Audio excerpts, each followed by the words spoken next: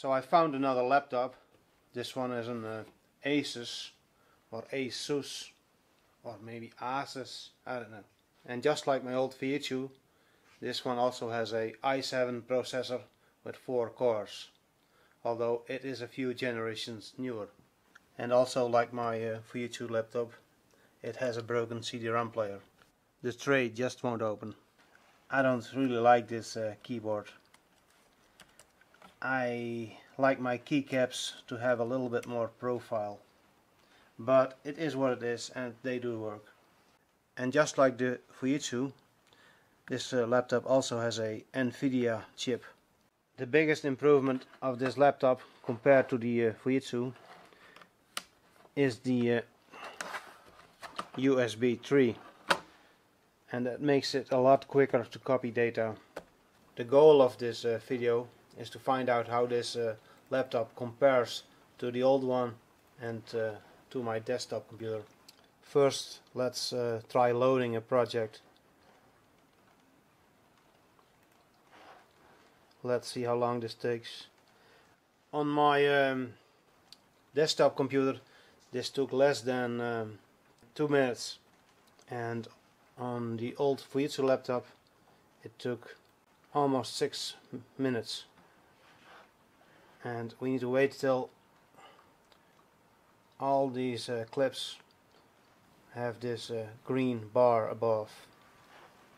This clip here that one uh, takes the longest. I think it's a uh, sped up clip. I think it's pretty much done.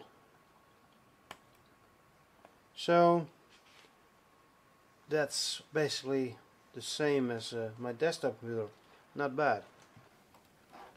Let's uh, do a test export.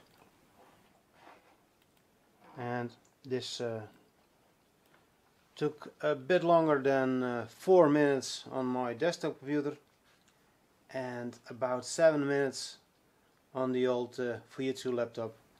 Almost there. And it's done. And that's surprisingly quick. I'm happy with this result it's a lot better than I expected. It's a big improvement compared to that old Fujitsu laptop. Hey it's even better than my desktop computer. And that's kinda strange. I probably did something wrong there. Anyway this uh, this should help me make uh, better shit shows this summer. And talking about the summer I might even use it outdoors. That might uh, even improve my uh, productivity and to be honest I haven't been uh, very productive lately when it comes to making new videos.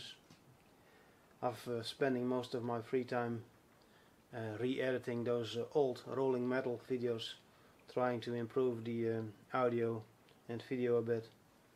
But honestly most of the time is being spent uh, doing the uh, subtitles. That is costing a lot more time than I expected but I guess that's my way of working on a more inclusive world. You don't want to know how many people have uh, hearing problems. Anyway that's it for this shit show. Like subscribe yada yada yada and uh, to be continued. This one is more than long enough